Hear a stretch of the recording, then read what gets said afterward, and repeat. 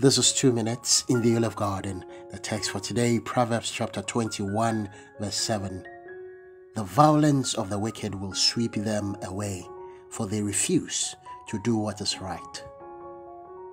No one can explain the full reasons why the wicked seem to enjoy the things that the righteous are supposed to be enjoying.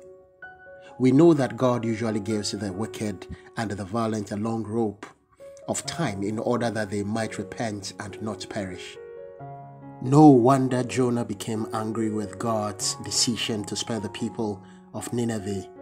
This is just one reason that we know through scripture on why sometimes the bad person would rather live long and the good person may die prematurely.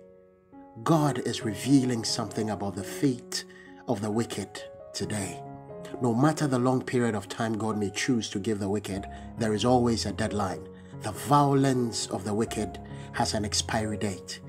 God is concerned about the lost, but He is even more concerned about His own children. He is angered by the constant violence meted out at His people. That is why He has a grand plan he has a plan to wipe out the wicked, to deal with violent men by using their own weapons against them. Sometimes you don't have to use your prayer power to fight the enemy. Their own violence will sweep them away. Their own bullets will blow off their heads. I pray over your head that the Lord will establish you on a higher ground as He masterminds the destruction of the wicked. The shalom of Yahweh be upon you.